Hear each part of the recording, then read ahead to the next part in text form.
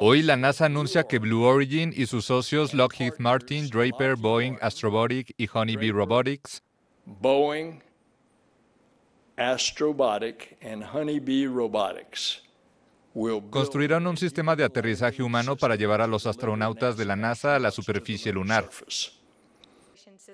Dos años después de otorgar un primer contrato a SpaceX, la NASA anunció el viernes que eligió a la compañía para construir este segundo sistema de alunizaje para la misión Artemis 5 que tendrá lugar en 2029.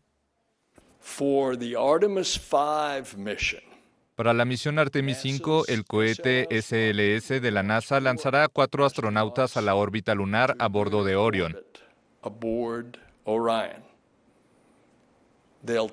Se transferirán a Gateway antes de ingresar al módulo de aterrizaje Blue Moon de Blue Origin Blue Moon lander for about a para un viaje de aproximadamente trip to una South semana al Polo Sur.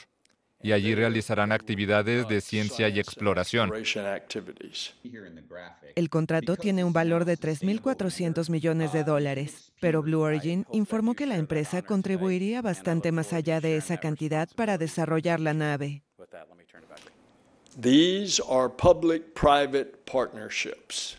Estas son asociaciones público-privadas. Es la nueva forma en que vamos a la Luna. Helps NASA share the risk Ayuda a la NASA a compartir el riesgo, el riesgo técnico y el riesgo financiero, risk, the cost. el costo para permitir el éxito de la misión al final del día. Artemis es el programa de la Agencia Espacial Estadounidense de Regreso a la Luna que consiste en varias misiones de dificultad creciente que dieron inicio en 2022.